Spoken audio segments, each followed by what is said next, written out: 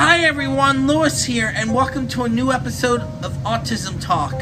There's a side to me I want to talk about. As you all know, I'm autistic. My case is mild, also known as Asperger's syndrome.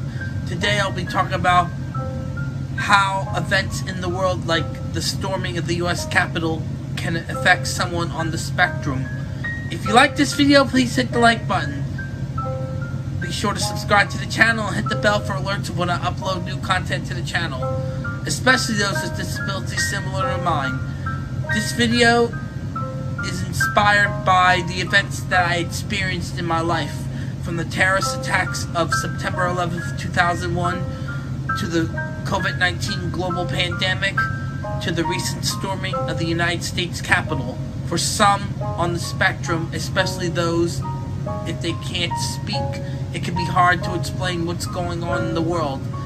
Especially, it can lead to anxiety, which is caused by thinking about and worrying about too much about what's going on in the world. Events like I mentioned are sad and upsetting to talk about, but at the same time, it doesn't hurt to speak to people like family, friends, and therapists to explain how these types of events affect you. It also helps to turn the TV off or stay off of social media if these events upset you.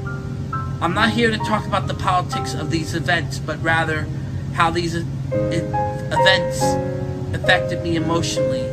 As for what I said about the terrorist attacks of September 11th, 2001, I was only 17 and a senior in high school when it happened.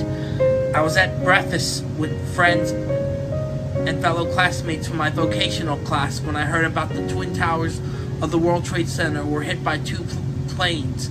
We rushed back to listen to the radio and was shocked about what we heard about the towers collapsing and when we seen the footage on TV it was something from a movie only it was real then we heard about a plane hitting the Pentagon and then later flight 93 that day and week I suffered a lot of anxiety as a result of those events then last year when COVID-19 was declared a global pandemic a lot of things including diving at the aquarium to things like my Diveheart trip to Key Largo and other videos were put on hold.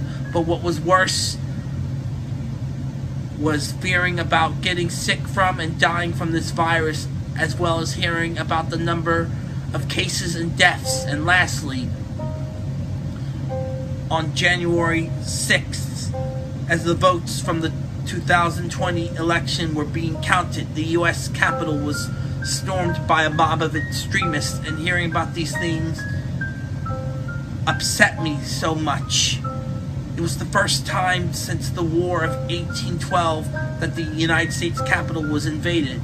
This is something I thought I'd never experience or see happen in modern times, but sadly I did. Thanks for watching, everyone. You can also follow me on Instagram, Twitter, Facebook, and Twitch. And remember, it's time for adventure. Also, during these times, when going out, wear a mask, practice social distancing by staying six feet apart, carry hand sanitizer with you, wash your hands, stay away from large crowds, stay safe and stay healthy, and together we can get through these dark times together.